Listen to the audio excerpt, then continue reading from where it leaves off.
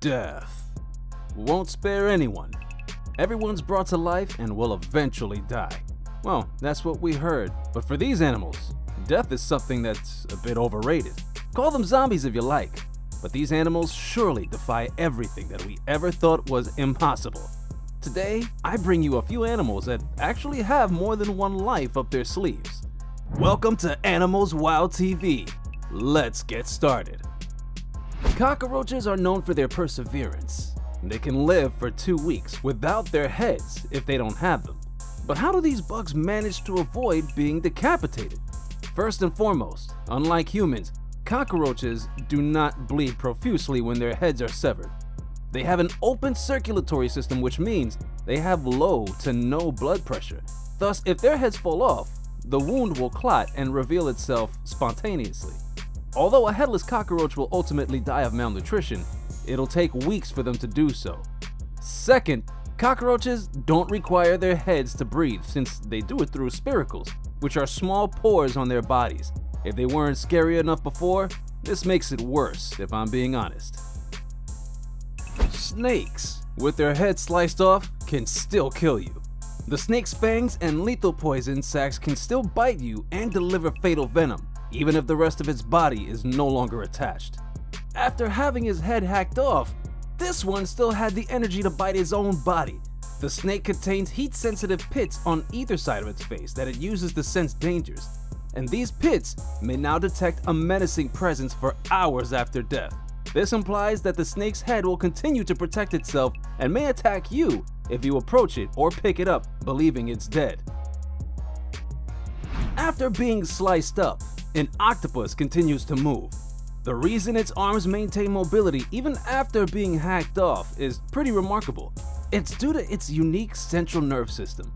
Two out of every three nerve cells of an octopus may be located in its tentacles.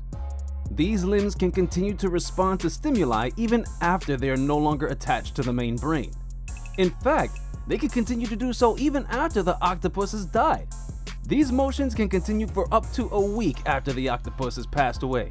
Unfortunately, this one's gonna be fried up and placed on meal plates.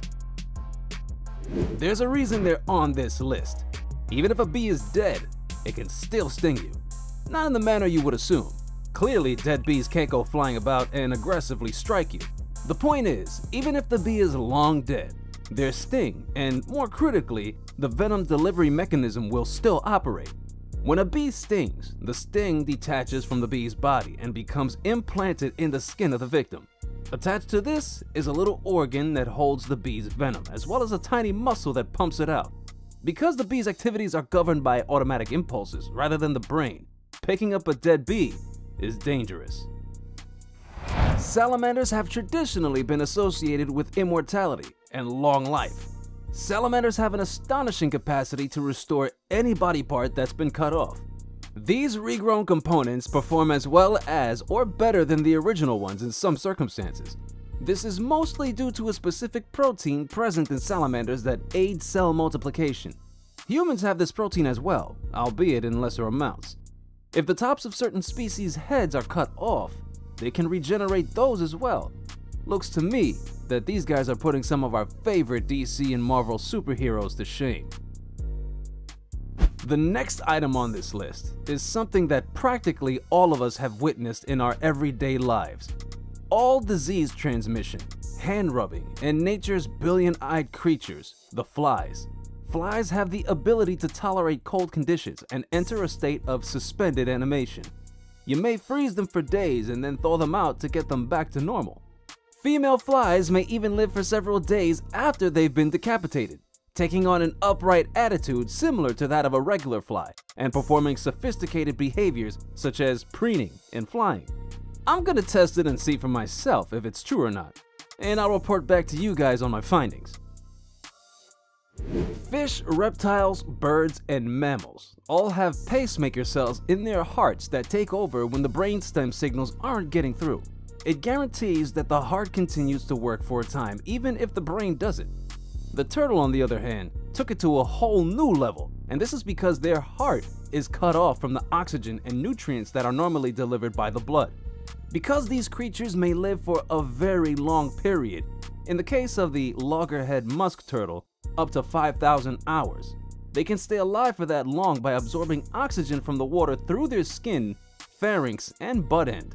In addition to their body's incredible ability to produce energy without oxygen, their hearts have their own fuel supply, which they will not exhaust until the very last drop has been used. Starfish are known for their astonishing capacity to regenerate or regrow appendages and, in rare cases, whole bodies in addition to their distinctive morphology. While most species require the central body to regrow limbs, a few tropical species may regenerate a whole new starfish from a section of a severed limb.